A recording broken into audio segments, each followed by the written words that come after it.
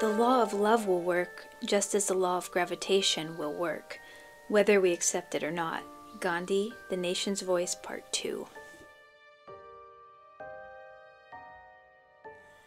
We're meeting this very basic law more than once in Gandhi's remarks, and it's worth repeating them because we so often in materialistic civilization lose sight of the fact that the non physical world is governed by laws just as much as the physical world is.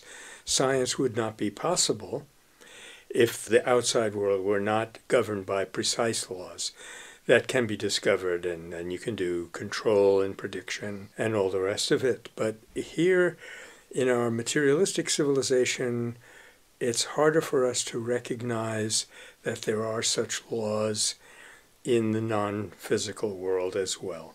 This is so important. And some, most of them are very simple. As St. Teresa of Avila said, amor saca amor. Love begets love. There's a very simple law that operates in the non physical world. But as Gandhi insisted, it is just as mathematical and just as predictable as the laws of, say, gravity, momentum, and so forth.